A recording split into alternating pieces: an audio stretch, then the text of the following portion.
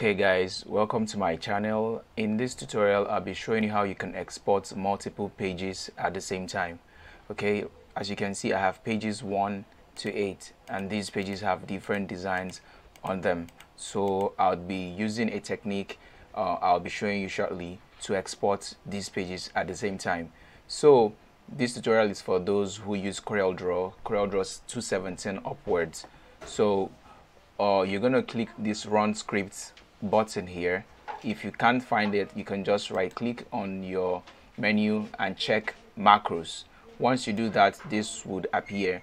So click on run script and um, it will bring you to this dialog box where you come to this macros in and select file converter and run. Once you do that, it will bring out another dialog for you where you'd select the source of uh, the file you want to convert. So the source is document. This is where I have the file. So it will load all the files I have in document. So I'm just to find that one.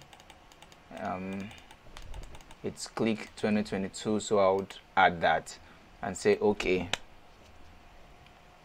once you you've done that you could select you then select the destination um, this is the folder I want it to export to if a folder on my desktop.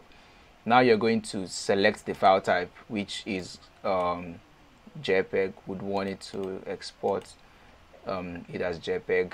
Then save each page as a separate file. You check that.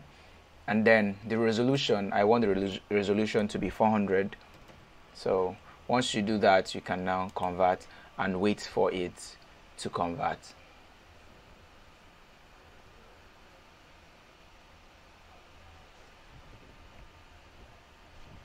okay file conversion has completed. Say okay and exit. I'm gonna okay so here's the folder. This is the files.